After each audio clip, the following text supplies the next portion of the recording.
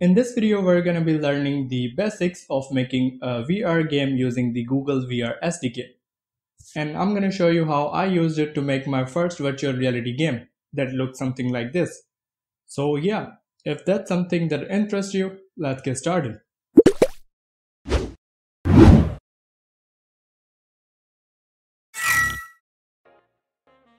Alright, so the first thing we need to do here is to make a create a new scene. So make sure it's set to 3D and let's give it a name. So I'll just call it uh, GVR tutorial and before we create it make sure that you are using 2019.1 or later. So yeah, let's hit create. Alright, so once the project is created, the first thing we need to do is go to file and build settings and we will need to change the target platform to Android. So click on this and hit switch platform. Alright, so it's gonna take a while, so let's wait here and it's done. Alright, so now that we have switched the platform to Android, we need to make sure that we have the Android build support for the particular version of Unity that you're using. So if I go to Unity Hub so I'm using 2019.1 and I already have the Android build support. If you don't, just click on these three dots here, add modules, and here you can just install the Android build support for that particular version of Unity that you're using. I already have it, if you don't, just go ahead and do that. Let's go back now. Alright, so once we have the project ready, we can just go ahead and download the Google VR SDK. Make sure you install the latest version or the version that I'm using and here they'll tell you the changes they have made recently. So it says 2019.3 so it will work for 2019.3 as well. So if you're using that it should work just fine. And I'll just leave the link in the description so go ahead and download it. Just click on this just scroll down a bit and download this unity package here. I have already downloaded it so let's double click to open it up inside of your project. It will take a while so here is everything that comes with the package. So let's just go ahead and hit import. Alright, let's wait for everything to import.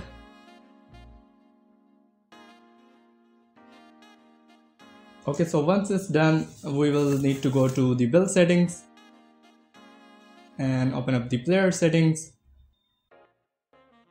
Let's maximize this and we need to make a couple changes here. So if we go down to the XR settings. So let's open this up and we need to we need to make sure that the virtual reality support is, is checked. And if we go down here, we need to add the cardboard. Let's wait for it to load. And it also shows up this warning here, so we need to remove the Vulkan in the other settings. Alright, so let's go to other settings and here we need to go to the graphics APIs and click on Vulkan and remove this. Alright, so now that it's done, we basically need to make a couple more changes in order for us to build the game. So let's set the company name to anything you like, I'll just call it Game Guy. And also we need to change the package name here. So, so the Game Guy and for the product name GVR tutorial. And also we need to change the minimum minimum API level to 19. Let's open this up and here we go. So API 19. And that's pretty much all we need to do here. So let's minimize this and get rid of the window. Now we are ready to use the Google VR. So first thing we need to do is go to the demo scenes so demo scenes and here are a bunch of demo scenes that we can use.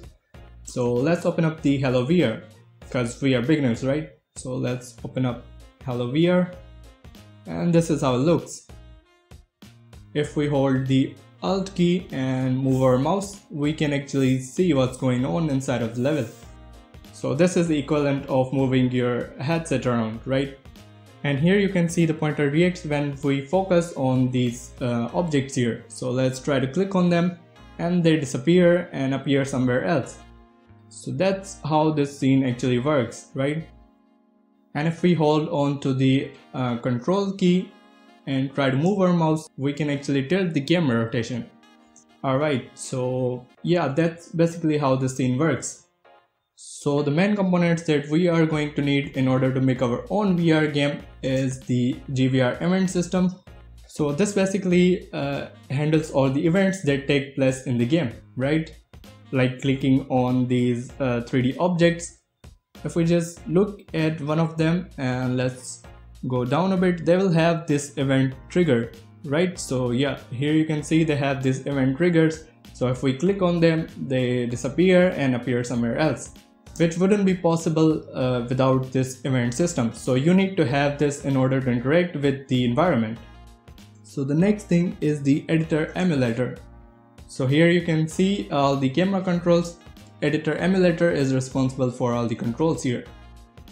Last but not the least, we also need to have the camera reticle or the pointer. So if we go, if we find the player, here it is, it will have the main camera as child and if we open up the main camera, we can see the GVR reticle pointer here.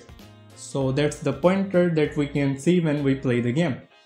And there are a bunch of settings that we can tweak around like the material here the color and the diameter of the pointer. So if we just change the color uh, make it like red and now if we try to play the game you can see the color changes and it's now red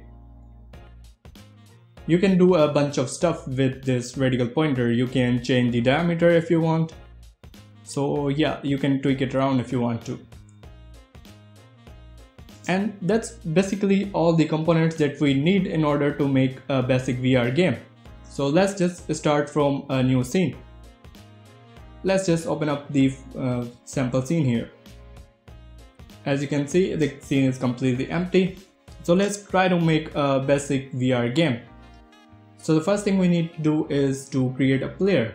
Let's create an empty game object, call it player, make sure the position is set to 000 and place the camera as a child of the player and reset the position so it is at the same position as our player alright and now we also need to create a basic ground.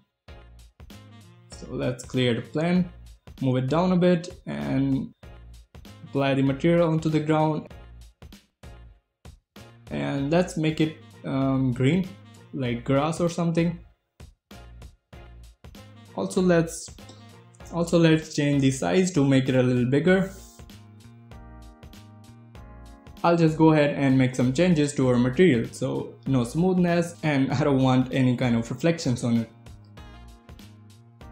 Alright so now that we have created the ground and we have our camera on the ground the next thing we need to do is create a cube. Let's change the position of the cube, place it somewhere around here also let's change the skybox to a solid color, something like this. Looks good. So the scene is basically ready and if we try to play, nothing really happens. So we need to set up the VR controls and interactions for this. So the first thing we are going to add is the event system. So let's search for GVR event and and let's drag and drop this GVR event system prefab into the scene. And the next thing we need is the GVR emulator. So let's type in emulator and drag and drop this inside of the scene. Awesome. So with these two, we can already play the game and look around our scene. Let's try it out.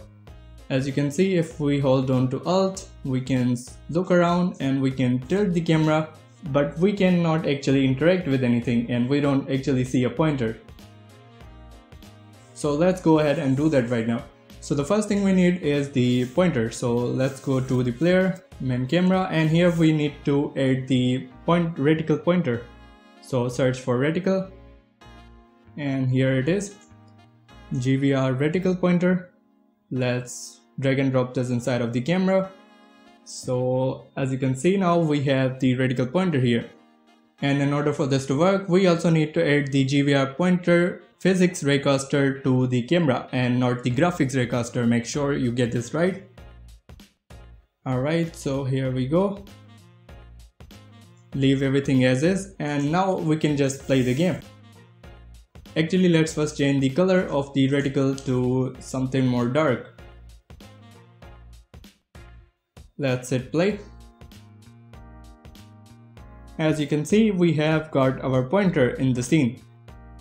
And it still doesn't interact with the cube or anything else in the scene. So where are we wrong? We haven't actually added the event triggers to on the cube. So we can't actually interact with it. So let's go ahead and do that right now. So click on the cube and let's go down, add component and type in event triggers. So let's add an event trigger. So it will, the first one will be the pointer down. We also need to add another one and that will be the pointer up when we press the button and when we release it. And now in order for this to work, we also need to create a new script. So let's create a cube script. Call it whatever you want. So this will take care of the basic interaction with the cube. So yeah, let's open this up. And the first thing we need to do is make a boolean. So it will keep track if the mouse button is pressed or not. So let's set it to false. So we don't actually need the start method here. Let's get rid of it. Let's make a public void for when we press the button. So let's call it clicked for now. Actually, let's call it pressed. And also let's just duplicate this and change it to released.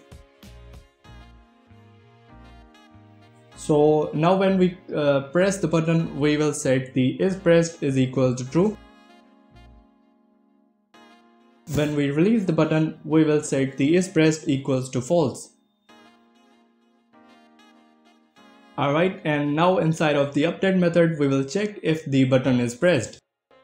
So while it's pressed, we will change the rotation. So we will rotate the cube. So transform.rotate and rotate around the y so transform vector 3 dot up you could do transform dot up if that's you want multiply it by let's make a public float that we can control so public float and we'll make it rotation speed let's multiply this with the rotation speed and also time dot delta time to make it independent of the frame rate Alright, let's save this and head back inside of Unity. Let's set things up. So firstly, let's set the rotation speed to like 60 and drag and drop this inside us. For the pressed, we will go to the cube script and click on pressed. And for the pointer up, we will select the released. Alright, and now we can just go ahead and play the game. As you can see, the pointer reacts when we uh, focus on the cube. And if we try to click on this, it will start moving. And indeed it does. So as long as it's pressed, it will, it will keep rotating. And as soon as I leave this, it stops. So yeah, it works we can do a lot of things like we can uh, change the color so let's go back to the script and in order to change the color on our cube we can just uh, get the renderer component so renderer and material color and we will change this to whatever color you want so maybe yellow so we'll change it to yellow when we press it and change it back to white when we leave it Awesome, so yeah, there's a bunch of stuff you can do here. Let's go back, try this out now. Alright. And let's click on this and it changes color and it starts rotating. And as soon as we leave it, it stops rotating and changes color back to white. Awesome. So yeah, that's the basics of the Google VR and that's how it works. So you can do a lot of things with Google VR. So let me just show you what I did with my project here. So this is the first project that I made using the uh, Google VR. So it's a VR classroom where you are sitting in a classroom and with seats and everything. As you can see here, the, uh, these are these are empty for now because you, you need to take a test to join the other classmates, right? So if we focus on it for 2 seconds, it will take us to the next scene. So here is your teacher and today is the quiz day. You can exit class and these are your classmates here. They are talking and doing random stuff. And here is your best friend, I assume. So yeah, let's try to answer the question. So who invented web? Well, it's basically the basics of computer. And if you answer it right, they will start clapping for you, which is kind of nice of them, I guess. So web address if you get it wrong. So let's get it wrong. And which one is the largest? So let's get it wrong and and if you get the question wrong, the, the other student will uh, raise the hand to answer the question. And you can also leave the class if you want. Let's not do that right now. Let's answer it one more time and the uh, score also updates. So let's start clapping. Yeah, so I've answered two questions, so let's answer three of them. And here as you can see in front of them, your score updates when you answer it right. Let's exit the classroom now. We are basically done. We are back to the menu scene.